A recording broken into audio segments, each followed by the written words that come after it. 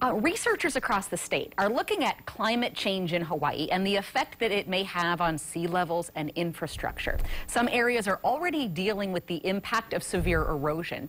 How do you plan to protect our roads and our infrastructure, particularly for the future? Uh, Governor Ige. Uh, we formed the Climate uh, Adaptation Commission that is looking at taking all of the state agencies and county agencies to look at climate change and sea level rise and begin the conversation about what changes we have to make in policies moving forward. As you know, there has been severe erosion along the North Shore, and we've had conversations with the state and the county about what should the uh, policy be going forward.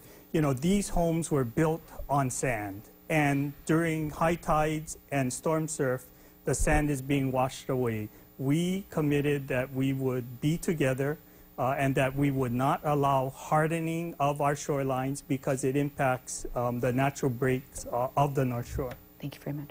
Representative. You know, unfortunately, we, we have to actually take action already. As you know, some of these roads are already falling in, and the solutions are very much a band aid solution. Granted, the conversations need to be had, but these have been issues for years.